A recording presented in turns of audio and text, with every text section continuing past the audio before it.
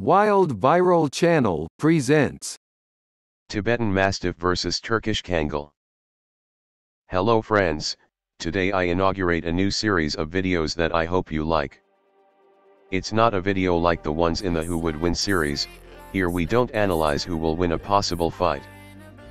It is a comparative presentation of two dog breeds. The goal is to see which dog will accumulate more points, taking into account a lot of characteristics. But whatever the outcome, you need to understand that this does not mean that one dog is better than another. There is no better breed and worse breed, only breeds that fit your needs better than others. That being said, the dogs we will be talking about today are the Tibetan Mastiff and the Turkish Kangal.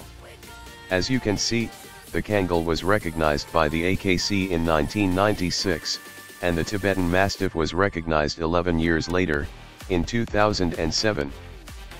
The two dog breeds have an approximately equal life expectancy, 10 to 12 years, with a slight advantage for Kangal.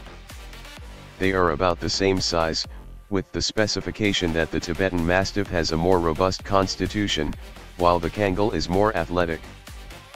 Being a guard dog, the Tibetan Mastiff has a harder time enduring loneliness than the Kangal, who is a shepherd dog. Both breeds are very affectionate with family members, and even with small children. The only danger to children in the case of these two dogs is that being very big they can hurt them unintentionally.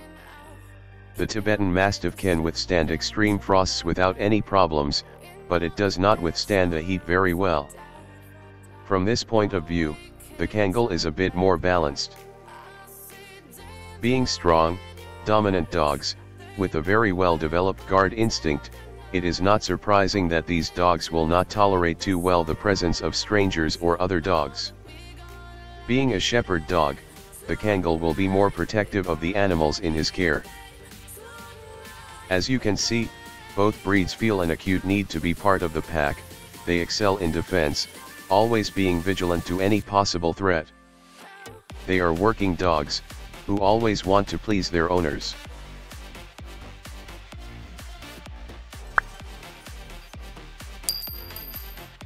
Both breeds are very intelligent, but the fact that they are independent does not make them very easy to train.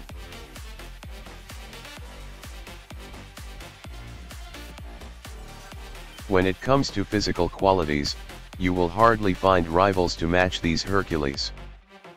Both are extraordinarily strong and tough dogs, going shoulder to shoulder in this regard. The Kangal has a small advantage here, because being more athletic, is faster and more agile. I think there is nothing more to say here, these dogs excel as watchdogs and guard dogs, whether we are talking about the protection of property or livestock.